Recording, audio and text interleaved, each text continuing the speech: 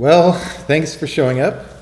This is going to be a relatively short and simple demo, but I wanted to do it to sort of catch up on all the little things that have been done uh, so that we can move on to bigger things. And the first one of these is actually pretty interesting and has some implications. And I'm calling it implicit polymorphism, which is a really a big mouthful for a simple thing. So that's not really what it's called. It's just the name of this demo because I don't have a better name right this second. Um, so, uh, well, let's let's compile and run the program, and we'll look at the output. You know, you know the drill. So we're compiling it. That's great. it compiles in 0.287 seconds. 0.27 of which are the linker. Linkers. I don't, I don't understand linkers. All right, so we're just printing a bunch of stuff, and uh, we'll go into what all that is. Let me let me clear screen. All right, so let's talk about polymorphic structs as demoed previously. Um, so you know, you may have seen that you can make a struct and it can take parameters, and those parameters, you know, like uh, you know, template style parameters to procedures, um, help define the type, right? So this struct, before you specify the parameters, is some kind of like abstract type, and then it becomes concrete. You know, for a hash table, when you say what the key type and the value type are, then it knows what the types are of all these data structures, and can instantiate that type, right? And so up till now, there's sort of been two ways to write procedures that take this kind of thing as an argument polymorphically, right? So uh, I'm going to go through a couple of them here. So if we want to add something to a hash table, right? Well, we want to take a table and then a key and a value. And how do you specify the table? Well, one way is to just do pattern matching on the table say, well, it's some table with some key type and some value type, right? And then you can use the key type and the value type in your other arguments or in the return values or in the procedure. And, and that seems good. It seems like a good way to do it. Uh, there's some problems with having to specify it this way. First of all, you got to type this every time, right? Secondly, it is a little bit cryptic. Like if you happen to know what K and V mean, great. If you don't, uh, you know, that's not so great. So maybe you want to use longer names in here, but it's it's a little bit, if you're coming from C++ and D especially, it's like traditional to use shorter names in here, I think. So that's just how people tend to do it. Um, but the other problem is that this is not robust to changes in this declaration, right? So if I add an argument I have to go to every procedure that takes one of these guys and specify the third argument, um, even if I don't particularly care about that argument, right, or about what it does to the struct. Or God forbid that I swap these two arguments, both of which are type expressions, right? Then I'm really in trouble because all these procedures will compile now, probably, um, and it's it's not so easy to go and hunt them all down. So, you know, this looks terse, um, but it's not so terse if you have to type it all the time, and it has some disadvantages. Um, another way to do it that I added around that time is to say, well, you use regular polymorphism like it's some t, some type, we don't know, but we've got a shorthand for type matching. Uh, we just say, well, it's a table of some kind, right? Um, and this is so that you don't have to write a modify procedure of your own. You could write, as we've done before, an arbitrarily complex procedure that inspects the type and decides if you accept it or not. But this is a shorthand way of not having to write all that stuff. Um, now you can still get at all the aspects of the thing. So, you know, when we said key k here, uh, you know, that was our way of getting at this, which is this, right? Well, here we could just say, well, key is table.key type and value is table.value type. And it looks longer, but it's actually, uh, it's a little bit readable if you're coming up and looking at this, right? Um, for the first time or you haven't looked at it in a long time. So you can still get, even though you didn't pattern match those arguments here, uh, you can still get at them, right? And so that's fine. Um, now, prior to this demo, those two were sort of the only way to do it. Um, but what was sort of not being said in previous demos is that the language had not yet assigned a meaning to the third sort of thing that you might do, which is this. Uh, so, you know, this part is the same as for this previous declaration, but what if we just say this argument is a pointer to a table, right? What does that mean? And I held off on defining the semantics of that for a long time uh, because I was thinking I wanted it to mean something like uh, this, the struct that represents uh, what is invariant to all tables. And the reason why I was thinking that was because when I program using templates in C++, I'm trying to get out of templates as soon as possible, right? I'm only using them for what I absolutely have to, and then I try to call into regular procedures. And I was thinking, well, you know, for table, if you look at these, right, these two things don't affect anything down until here, right? So in terms of memory, layout, and uh, you know, in terms of size and position in memory and all that stuff and type, all these things are invariant among all tables. So maybe there should be a declaration of, of something that means that. And I was thinking for a while that that is what this would mean, but then I changed my mind. So that's not what it means. Um, and the reason I changed my mind is that some other features that are going to be demoed later uh, are very much about using polymorphism very heavily because as I've been using this language, I've been finding I don't mind it because it's a lot more clean than C++ and it's certainly faster to compile, right? They don't bloat your compile times and you get good error messages.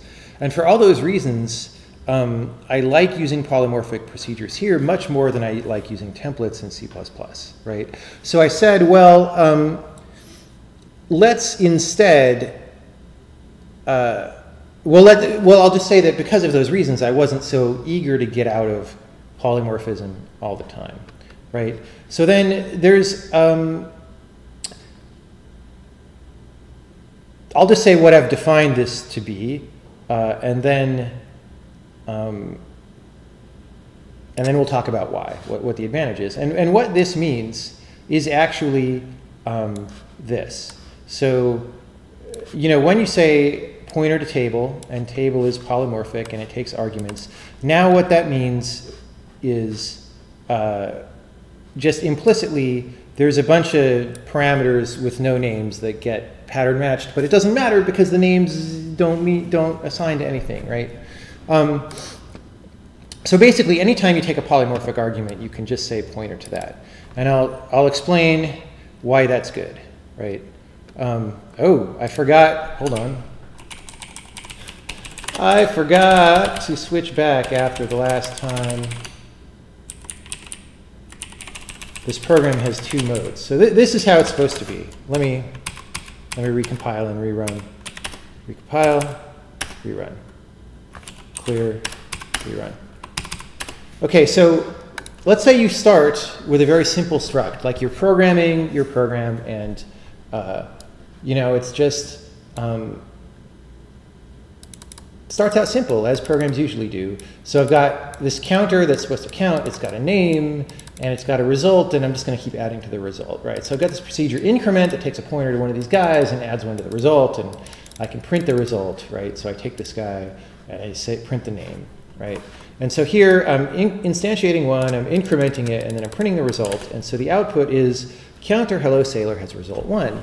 So that's all very straightforward. Now the problem is, of course, the program isn't what you write instantaneously. It evolves over time, right? As you're working on a project, it evolves. And you might decide later on, well, this counter, you know, I really want to have, uh, you know, different types of them. Or, or, I, want, I want the result, the thing that I'm counting, sometimes to be an unsigned 8-bit number because I want it to be small, or maybe sometimes it needs to be float. So I'm going to add an argument here, right, of uh, some type that's the type of the counter, and result is going to be t, right? Now, as soon as you do this, under the old scheme, you would have had to go to every single method and done something like this, right? Um, and that's just, it's a little bit ugly because now, um, like a small change here shouldn't affect very much. It shouldn't infect the rest of your program, right? You shouldn't have to go making all your procedure declarations more complicated. And it doesn't look that much more complicated if there's only one argument and it's only this one type. But if you start having a lot of arguments, um, it gets substantially more involved, right? And so the point of this uh, that I was talking about here is that you can make the leap from your struct having no arguments to having arguments and um, it doesn't matter, right? So now the, the only time you really need to specify the arguments is when you construct it. And actually, I didn't test this, um, but I, I should be able to give this a default value. This is when I'm crossing my fingers that a bug hasn't crept in. Yeah. Um, okay, that's a, eh, that should work. It doesn't work yet. Anyway, so, so if I don't, uh, if I don't specify it, uh, or, or, let me just say, when I instantiate one of these, if I give arguments, so in this block of code I'm giving arguments, um, then I can use all the same procedures on it. So here I'm going to make a counter with a U8 argument, right, and I'm giving it a name, U8 counter, and here I'm going to make a counter with a float argument, and I'm giving it a name, float counter, right? Then I'm going to increment each of them and print the result. And those increment and print result are the same ones that I used before I added the argument, right? And so uh, let's compile again, and we'll run again, and, and uh, now we say counter U8 counter has result 2, and counter float counter has result 3.000, and this is an unsigned 8-bit too. So now you have a lot of versatility where you know, you can make an edit. Maybe I even just wanted to try for five minutes. What happens if I give a parameter to this? And then I decided, no, I, I, didn't want to do that, right? So when your program doesn't have to change a lot syntactically to do that experiment, it's a low cost experiment. Whereas if you make it a huge cliff to make something polymorphic, uh, then it's painful. So it's just to say that that is the direction in which I'm making this design decision right now, is that um, it, there isn't a syntactical uh, difference between a polymorphic argument and a non-polymorphic argument necessarily. You still can do this stuff where you pattern match and whatever, but you don't have to. Um, yeah, so um, just to show that this is polymorphic and instantiates the two different types, I'm calling, so again, you know, this isn't doing pattern matching or anything. It looks like a specific type. Uh, it, it looks like it looks like a type that nothing scary is happening with. And I can call it with both D and E here, which are counters of different types. And you know, that's, that's what these big masses of text are.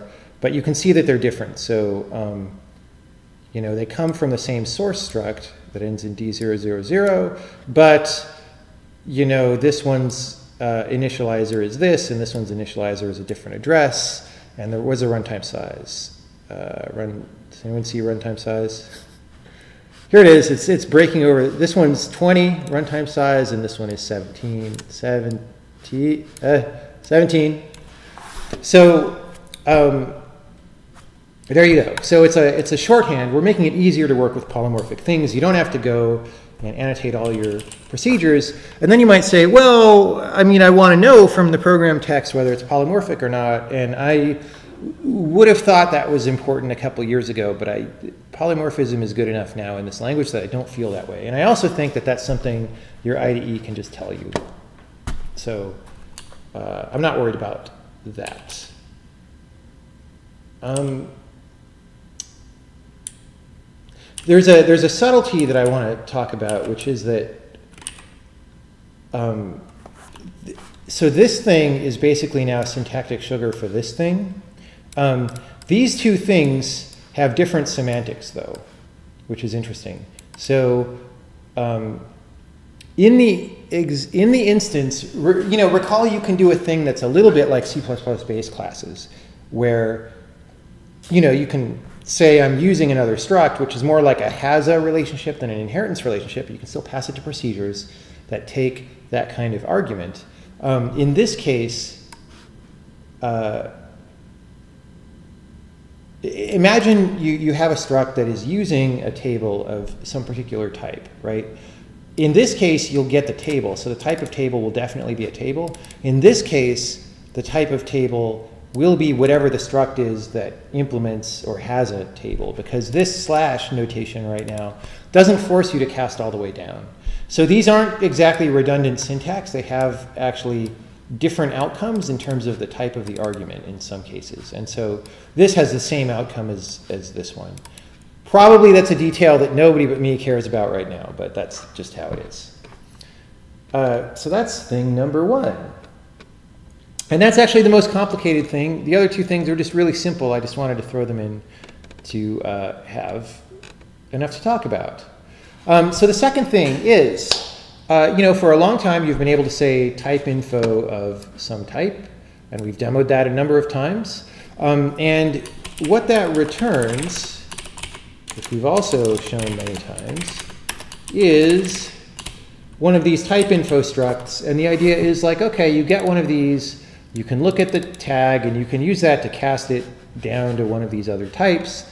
And this is when some people say, oh, oh, I want sum types, sum types, or tag unions, tag unions. And it's like, okay, fine. You know, we might do that later.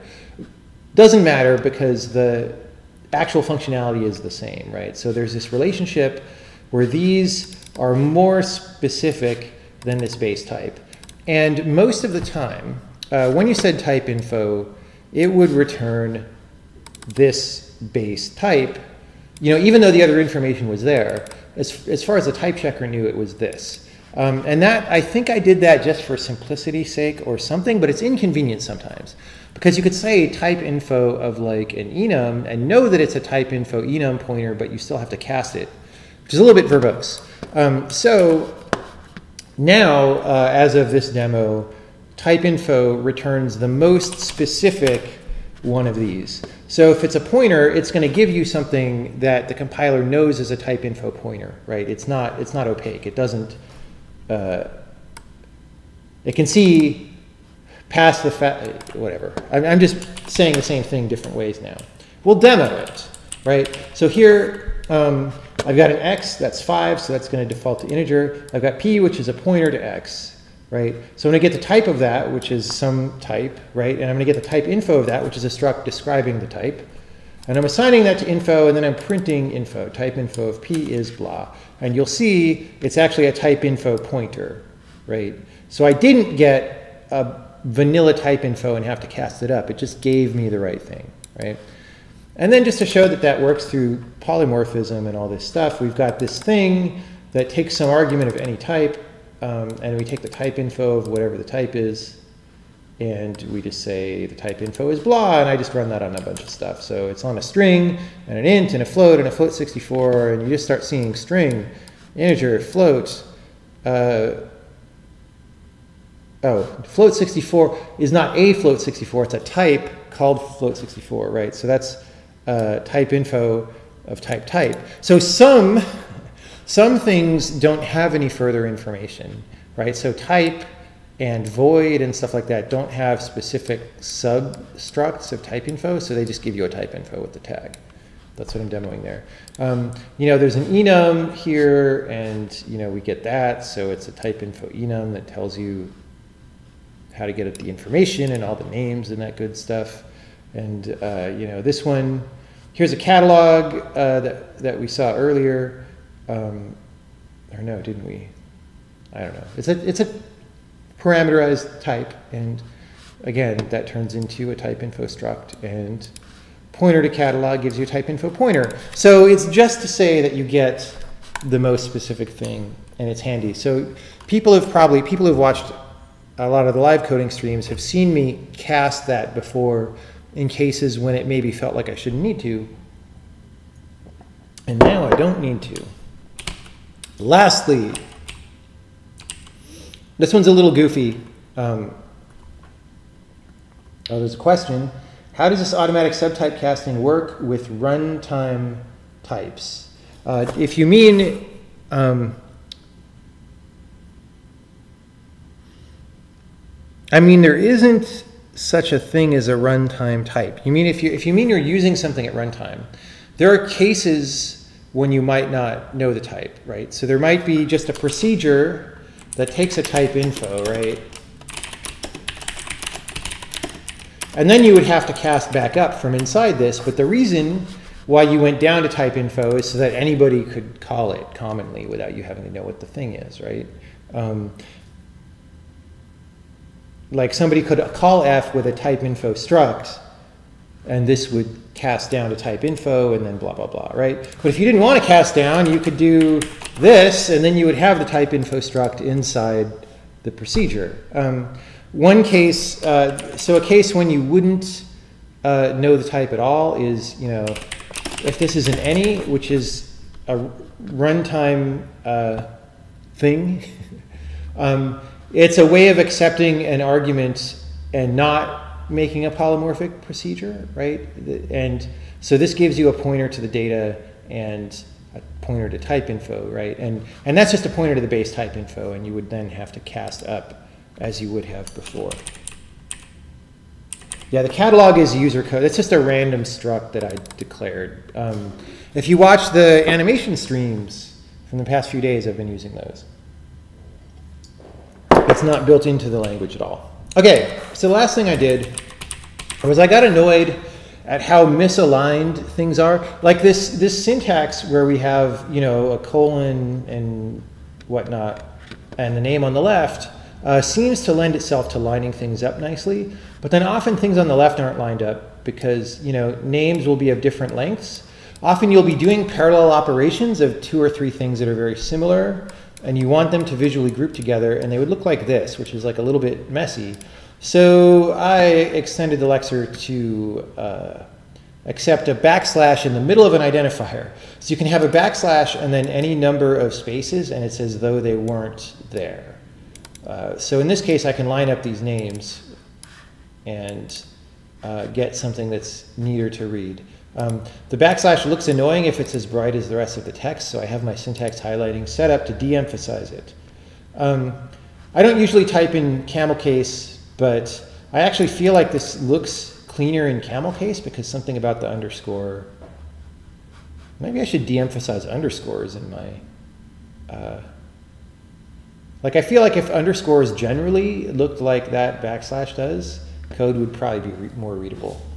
Maybe not. Um, anyway, though, that's just a cute thing. Uh, you know, this code doesn't print anything or whatever. It's just to show that it compiles and works. I played around with other characters besides backslash, like maybe a single tick or a back tick because they're smaller visually. Um, and, you know, I don't care too much what character it is. I'm not even sure if this is going to be in in the long term. It's just how it is today. Uh, that is everything that I wanted to demo. Like I said, it's a short demo. Um, let's do on-topic questions. If there's any questions about what I just showed, uh, please ask. What if you put the underscore before the backslash? I did that earlier, and